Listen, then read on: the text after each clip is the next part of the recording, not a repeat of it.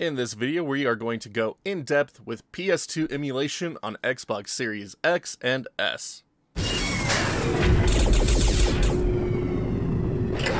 So you just got RetroArch installed on your Xbox Series X or S using dev mode or retail mode, and want to play a selection of PS2 games on it, but have no idea how to do so. Well, you've come to the right spot because I am going to show you just a lot of things about PS2 emulation in this video, and hopefully help you get it all set up and running. Now, the one prerequisite is that you are on Xbox Series X or S. If you are an Xbox One user, do not waste your time trying to do PS2 emulation. You are not going to get playable speeds on most anything. It's not worth wasting your time. You need the faster CPUs found in the newer consoles. I guess one other prerequisite is that you already have RetroArch installed, because we're not going to go over the setup process again, so refer back to one of the install videos on how to do that. There's retail mode or dev mode, Take your pick. But let's go ahead and dive in. Alright, we're going to get started over on a computing device of some kind to get things prepped and ready to go for PS2 emulation. So, some of the things you're going to need, you're going to need a selection of PS2 games, and you're going to need a PS2 BIOS file. Let's go ahead and start off with the BIOS file first. BIOS files can come in two different formats. You can have a multi-bin format like you see here for my two different BIOS files. I actually have two BIOS files here, so yeah. Anyway, you'll either have a multi-file formatted BIOS, which you get from directly dumping them from a PS2 using PCSX2's BIOS dumper tool, and that's what these two are for. Or you might find a merged BIOS file if you're resorting to the shady parts of the net. You need to make sure that you have a good BIOS file, otherwise you're just going to get black screens, crashes to dev mode, or home screens. Like, your BIOS file is very, very important. So, for those of you that actually have a PS2 still and are looking to dump your own BIOS files, I do have a couple of tutorials on how to do that. The Slim method is definitely the easiest, as it doesn't require a pre-modified console, whereas the FATs do. But I mean, modding a PS2 in this day and age isn't too difficult, so you got this. But links to these will be in the description below. But once you've sourced a BIOS file, if you have multi-file BIOS files, make sure they're all named the same thing outside of their extensions. That way you know for sure that they're proper. But now we just need to build the file system required for PCSX2 to detect your BIOS file. There's two methods of doing this. You can just make a new folder, name it PCSX2, open that folder, and inside of it make a new folder and name it BIOS. And then once you have that made, you can drag your BIOS files right in. And that's ready to go over to your system folder in RetroArch. Alternatively, you can download my Xbox RetroArch files zip folder here. And once that is downloaded, you can just get it extracted. And it'll give you this folder just titled Xbox RetroArch files. And inside is a pre-made PCSX2 folder with that BIOS folder, and then you can just drag your BIOS files right into there. Now this folder does come with a number of extra systems, including PSP and Dolphin, Final Burn Neo's High Score Dat, and Neo Geo CD BIOS files. So if you're planning on getting multiple systems set up, here's a good place to uh, get some things going. Once you have that PCSX2 folder made, we just need to get it transferred on over to our RetroArch system folder. So go ahead and open up Durango FTP. This is just showing it in dev mode. If you're on retail mode, just open Durango and tell it to start the server. And now back over on your computing device, you can use a file explorer or an FTP program to load up into your Durango file share. So I actually mapped the network location for my Durango. You can do this by adding a network location in Windows, choose specific network location, type in the uh, address for your Xbox there and press next. But access your Durango FTP file share go into your local folder, find your RetroArch folder, local state, system. Now in my initial setup tutorials, I already copied all the BIOS files over, but we're just going to go ahead and recopy them over. So again, if you have, if you made your own PCSX2 folder, you can just copy it in.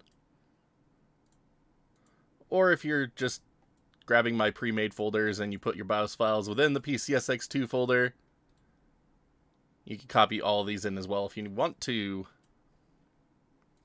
Either method, doesn't matter. But once those are in place, just go ahead and minimize uh, your Durango FTP. We'll come back to that in a second. But we are all done with the BIOS and system folder setup portion of this video. Alright, so the next thing we need are PS2 games. There are a number of supported formats that PS2 games can be in. The most common that you're going to find are ISO or bin files for DVD or CD based games. But heading over to the PCSX2 documentation on the RetroArch website, you can see that a number of different formats are also supported, including CISO, CHUD, CSO, old school MDF and Nero images, gzip, and then for multi-disc games you can make M3U files. Now, all my games are just in their normal ISO and bin format here, but if you want to convert these to CHUD format to save on disk space, I have prepared a folder here called PS2 ISO to CHUD that I will have a link to in the description below. And you can just extract this, and it'll give you two uh, two files here. You've got CHUDMAN and then the PS2 ISO to CHUD.bat executable to convert all of these ISO files into a CHUD format. It won't touch the bin file. This one's just specifically for ISOs. But add these to your PS2 um, image directory where you have your games stored, and then just run the bat file. And it will compress your ISOs into CHUD format. Now, depending on the amount of games that you have, this could take a while. So just bear with it once that program is finished converting all of your games over, you're going to see that you have multiple copies of them now, so you can just go ahead and delete the ISO originals if you no longer need them or move them to a different folder. Doesn't matter. And there we go. Now, I have a couple of multi-disc games in here as well that I'm just going to place into their own folders, so that way they don't... It just looks nicer to me. But anyway, I'm just going to make a folder for these real quick. And there we go. Now, since these are multi-disc games, we could also make an M3U file here to allow them to show up as a single game in a playlist when we make one. So process to do this, you make a text document and you can name it whatever you want. I just choose to use the game title, of course. But open up that text document and paste in the full file name of both discs or how many discs there happen to be.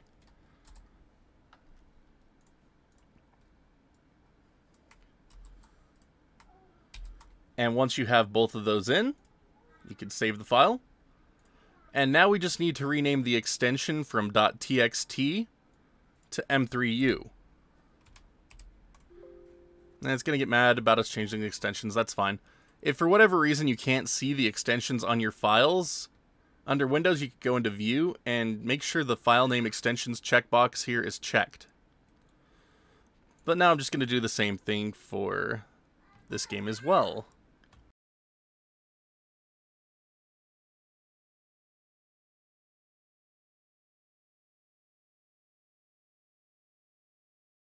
And once again, rename it to M3U.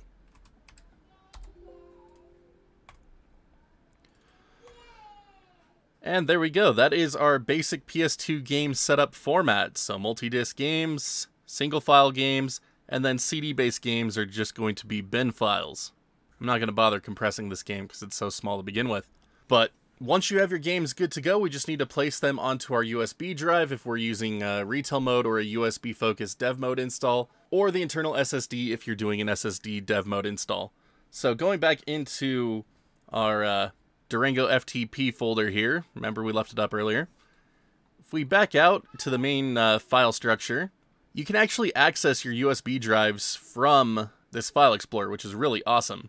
So that way you don't have to unplug and replug your USB drives if you uh, choose not to. Transfer speeds are going to be slower than plugging it directly into a computer, but hey, points for extra points for laziness here, right? E drive is where USB drives are typically on on dev mode. Under uh, retail, they'll be under D typically. And then for uh, SSD users, you're going to go into S, program files, Windows apps. Find your RetroArch folder, the one with the x64 uh, you'll have created a games folder in here during initial setup. And then you would just uh, make a PS2 games folder and copy it in there. But I am using USB, so I have them under a folder named games in here. And I already copied a bunch over during the initial setup tutorial, but I'm just going to delete those right now and replace them with the CHUD versions.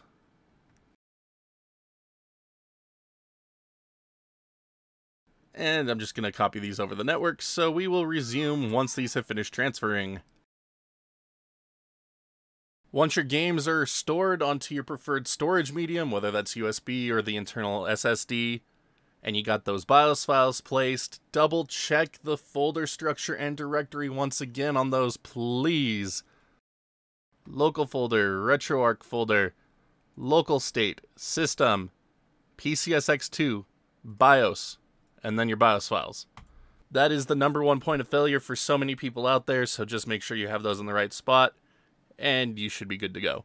But we have all the files we need, we have them placed, we're ready to start playing games. So now back over on our Xbox, we can stop Durango FTP and just quit out of it. And now go ahead and boot into RetroArch. So from here, we can begin loading up our content. One method of doing so, go to load content, navigate to the directory where you stored your games. So for dev mode USB users, that'll be under E, games, um, whatever you happen to store them, it doesn't really matter, but then you can just choose a game, choose core, tell it to run. If you are on retail mode using USB, they will be under your D drive, same thing as this E drive. But if you are on dev mode and using the SSD to store your games, those will be located under S, program files, Windows apps, find your RetroArch folder, the one that ends in x64 after the version number. Find your games folder, find your games.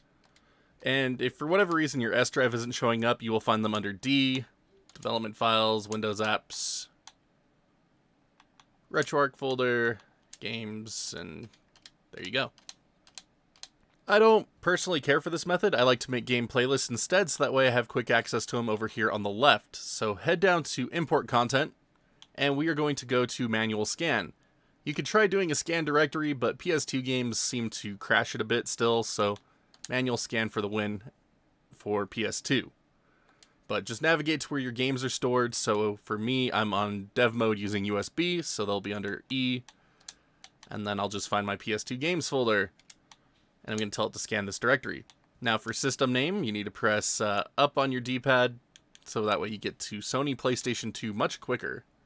Default core, same thing, press up on your D-pad and find Sony PS2 PCSX2.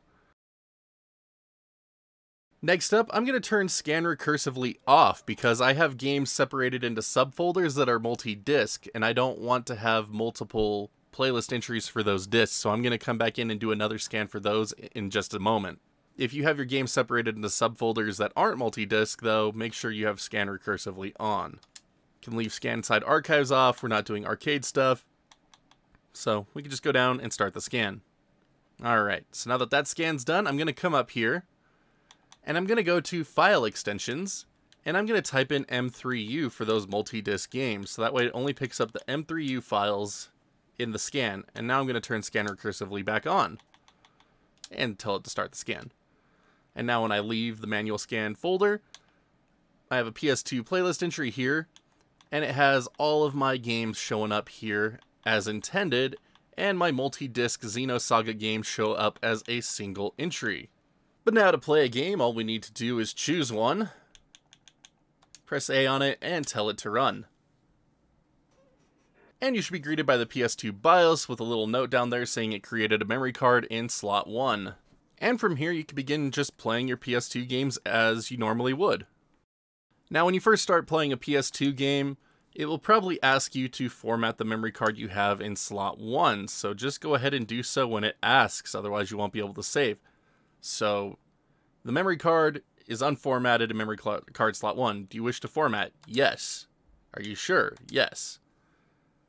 And once that's done, you will be able to start playing through your games just like you would on a normal PS2. Just remember that PCSX2 within RetroArch does not support save states as of this time, so you will need to make sure to save in-game like you would on a PS2.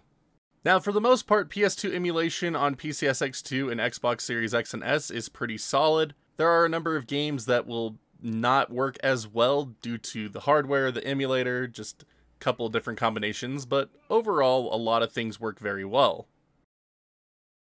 But if you're all done playing a certain PS2 game, you can access your RetroArch quick menu with the hotkey you set up during initial RetroArch setup, close the content, back out, and just load up another game. So I want to show you an example of a game that might not run so well here, and that's Baldur's Gate 2. And sometimes you might just get a crash when you go directly from game to game, so just uh, quit out of RetroArch if that happens, and just load back in. Sometimes it's actually playlist related as well, so sometimes you might just end up on a black screen during playlists, but typically a restart will uh, get you sorted. So here's Baldur's Gate Dark Alliance 2. Again, a very demanding game in certain regards, so there's just some things that you aren't going to get full speed out of on the Xbox Series X version of uh, PCSX2 at the moment. There's moments where it runs just fine, but you are going to experience momentary slowdowns or prolonged moments of slowdowns, just really depending what's happening on screen. Need for Speed Underground's another one of those games where it runs mostly fine, but there are numerous moments of slowdown depending on what you're doing.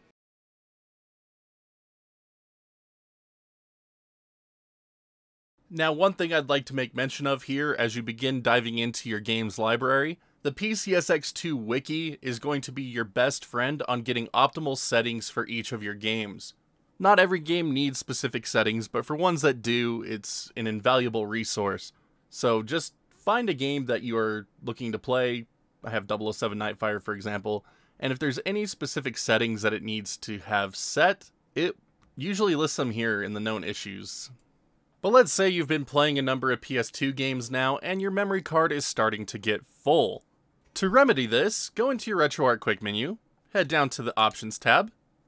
You'll see a little memory cards tab here. Go in there, and we're going to turn on a shared 32 megabyte card for slot 2 real quick. Once that's set, just back out, go up to System, and we're going to tell it to boot to the BIOS. And now we will close our content and go up to the main menu here, load core, find your PCSX2 core, and then just tell it to start. Uh, yay, yay.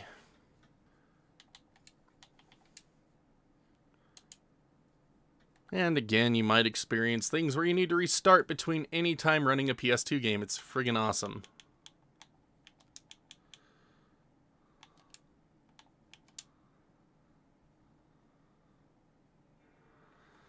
There we go. So you'll see at the bottom there, it created my shared 32 megabyte memory card.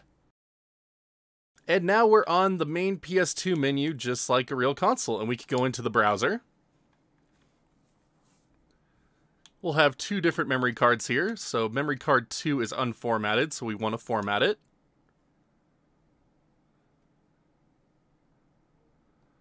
And once that's finished, we can go into memory card 1 and hey, we have a number of different games here. Let's go ahead and transfer Baldur's Gate.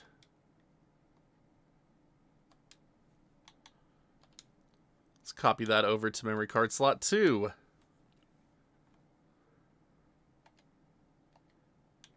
And then we could delete it from slot 1. So that way we don't lose our save, but it's not taking up our valuable slot 1 space. And there it is, we still have the save. So that's how you will handle memory card management. If you happen to fill up your 32 megabyte second card, well, you might want to dump it to a PC and uh, just let it create a new one. But once you are done in the BIOS menu, go into Options, System, and turn Boot to BIOS back off. And then we could just close the content. Now let's talk about multi-disc games here real quick. There's a couple steps we need to do when it comes to multi-disc games to kind of prep for them. So, if you go into your RetroArch quick menu while you have a, multi-disc game loaded, we're going to press B to back out of the quick menu and go back to our main RetroArch screen here. And we're going to head up to settings. And the first thing we're going to do in here is head down to user interface. And we're going to turn off pause content when menu is active we have to have this option off on Xbox just so it registers disk swaps. And now we're just going to go ahead and back out there. Head up to the main menu. Now head over to the quick menu. You'll notice that your button inputs are uh, occurring in the game as well as on the, the menu because it's not paused anymore. It's fine. But now we're going to go down to overrides. And we're going to save core overrides. This way it will save the fact that we aren't pausing the menu just for the PS2 emulator and not other ones that don't need it. Alternatively, you could do it per game, but your choice, really, there. But to change out disks, you'll head up to disk control. You're going to tell it to eject a disk. And if you made M3U files like I showed you, it will uh, have a current disk index selection here. So you can press A on this and see which disk it is specifically. But then you can change the disk and tell it to insert. And then the swap should occur as it's needed. But now let's go ahead and talk about some of the core options available to us within PCSX2. This is where the fun begins. So going into our RetroArch quick menu, we can scroll down to options. So the first set of options are the system options. We sort of looked at this earlier when we went to the boot to BIOS. But our first option here is to choose our PS2's BIOS file. So I put two BIOS files in my system folder so I could choose between them here. If you only have one BIOS file, you will not be able to choose between them. It'll just choose the one you got. Next up, you can set the preferred language for your BIOS file. Next up, we have fast loading. This will reduce load times in games. Not every game is compatible, so I don't personally like to use it, but you could check compatibility lists and things like that and see which games work with it and which ones do not. Next up, fast boot. This will bypass the PS2 loading screen if you don't want to see it every time you load up a game. Boot to BIOS. We went over this a little bit earlier. Lets you boot to the BIOS screen and uh, manage your memory cards. Next up, the memory card page.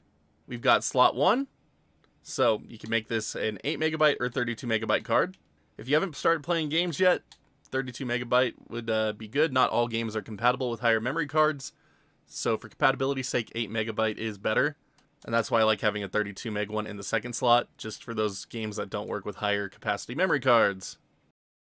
Next up, video options. Skip over renderer, don't mess with it, leave it on auto.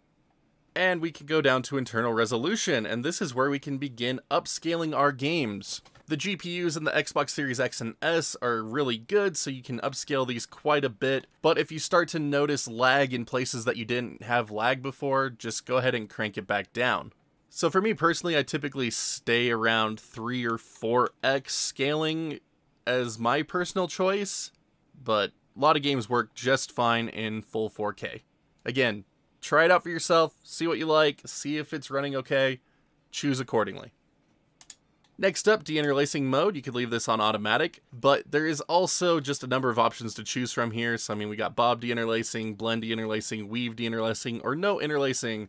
Then there is also this no interlacing patch that's built into the RetroArch version of PCSX2 that basically forces your games into a progressive mode, and it's pretty cool. Now, not every game has a patch for this, so it might not work for all of them, but still worth giving it a shot. And most of the options that you're going to set here in the quick menu do require a content restart, so don't be surprised if they don't take effect immediately. Next up, aspect ratio. You can choose between 4x3 and 16x9. You can enable widescreen patches here. There are a number built into the RetroArch version of PCSX2, so that way you can play your games in 16x9 with the applied cheats. Again, not every game's going to have it, but for the ones that do, it's pretty cool. And if you turn those on, make sure you set your output to widescreen. Next up, 60 FPS patches. Same thing as deinterlacing mode, widescreen patches. It's basically a patch that will make your games run at higher frame rates. This will cause performance hits depending on the game, on the hardware. Some games might not support it right, so it's give it a shot. If it works, cool. If it doesn't, turn it off type deal. Next up, FXAA, so anti-aliasing, you can turn that on or off. Anisotropic filtering, you can increase this up to 16 times. Dithering, you can enable or disable dithering and have it scaled to the content of your game. Texture filtering options, we have nearest, bilinear forced, bilinear PS2 default, or bilinear forced excluding sprites. I prefer PS2 default myself, gives you the proper look in my mind, but you can try them all out. There's a nice little description here in the text that tells you what each of them do. MIP mapping, leave this on automatic. Next up, conservative buffer allocation, leave this on. Accurate date, leave this on. Frame skip, just yeah, we're not. I'm not going to cover frame skip. I not no, just just no. All right. Next up, gamepad. Enable rumble. If you don't like having rumble on your controller, you can turn on or off here. Rumble intensity. You can set the strength of the rumble effect here. Next up, left and right stick dead zones. You can increase or decrease dead zone effects here, just depending on how your controller is. All right, next up, emulation tab. Enable cheats. If you want to use cheats for your PS2 games, you can turn this option on, and then in that PCSX2 folder we placed in the system folder earlier, you can make a new cheats directory and load your PNAC, PNAC, however you want to pronounce that. You load that file in there, and when you load up your game, should load it up. I'm not going to cover it more than that at this time. I might come back and do a dedicated cheats video later. I really don't like cheats, but yeah, there we go. Next up, speed hack presets. This is set to safe by default. You can set this to balanced on Xbox and not really have any uh, penalties. Might help with a few games that are barely stuttering. I don't recommend going past aggressive, like this is not really useful. Next up, VSyncs and MTGSQ. This is set to 2 by default to help with performance, but if you find input lag to be a little bit undesirable, you could go a little bit lower here and see if it helps you out. Next up, we have a bunch of emotion engine um, settings here, as well as uh, VU settings. Again, the PCSX2 wiki is going to be your friend on if you need to change these values. I don't recommend really messing with these unless it says to in the wiki. The default values are great for the overwhelming majority of things. It's just those certain games where you might need to change something. So PCSX2 wiki will be your best friend. And that goes the same for this hacks page. There are a ton of different hacks to like fix graphics or fix games to run in the first place. And the PCSX2 wiki is going to tell you exactly which ones you need and what values you need to set them for per game. So again, PCSX2 wiki, find the settings if you need them. If you don't, you can basically ignore it. But once you have all the options set, you can go up to manage core options. You can save them as a game options file if you need to have per game settings. So for games that need specific hacks in that hack folder, you will want to save them as a game options file so that way they don't apply them to every single PS2 game when you're playing. But that's going to do it for core options. One last little fun thing you could do if you so desire, you can head down to the shaders tab. You can turn shaders on, load up a shader preset. So something I like is a shader uh, CRT easy mode. Just gives a nice overall look to the th to the games and um, not overly intrusive like some shaders can be. Shaders are very personal preference, so there's really no best shader option. Just choose which one you like and go with it. You can save shaders as a core preset, game preset, just anything under the sun. So I'm just going to go ahead and save easy mode as a core preset here. So that way, every time I load up PS2 game, it will be ready to go for me. But now that I've gone through and changed a number of different settings, I'm just going to close out of the content. And since RetroArch seems to not want to load my PS2 games up again unless I restart it, I'm just going to manually do that real quick. And now I'm going to go back into Devil May Cry 3 here.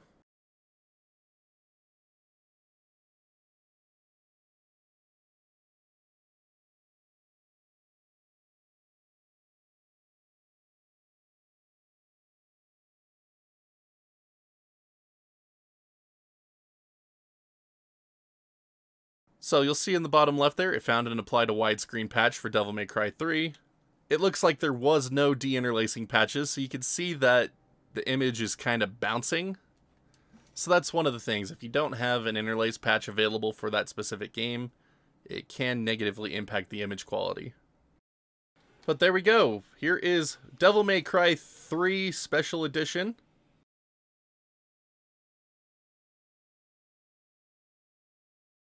running in a 1440 resolution output type deal in widescreen. And it's pretty cool that the widescreen patches actually apply to in-game and menus separately, so the menus are still showing up in 4x3 and not stretched. So you could get some really cool effects out of PCSX2 on RetroArch. It's definitely come a long way in the last year. It's pretty cool stuff. And for those of you wondering about the black borders around the screen, that's because I had integer scaling turned on, so if I were to turn that off, it would fill the full image, but I like having proper pixel ratios, so personal choice on that one, as I said in the initial setup video for RetroArch. But that's going to do it for PCSX2 for this video. As always, if you happen to have any questions, feel free to ask in the comment section below, and I'll do my best to try to help you out. But now, if you could all do me a couple of huge favors. First of all, please be sure to hit that thumbs up, thumbs down button, just depending on how much you like today's tutorial. And if you haven't done so already, hit that sub button so you can see when new videos go live on the channel.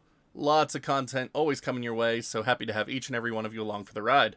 For those of you that might be interested in further helping support the channel, you can also check out that join button here on YouTube or the Patreon link that'll pop up in the bottom right hand corner of the screen. Little goes a long way to keeping this place up and running and bringing you content just like this. Big shout out to all the current champions. Thank you so much for believing what we do here and helping us keep it going. But until next time, my wonderful internet peeps, you all stay awesome, and we'll see you back next video.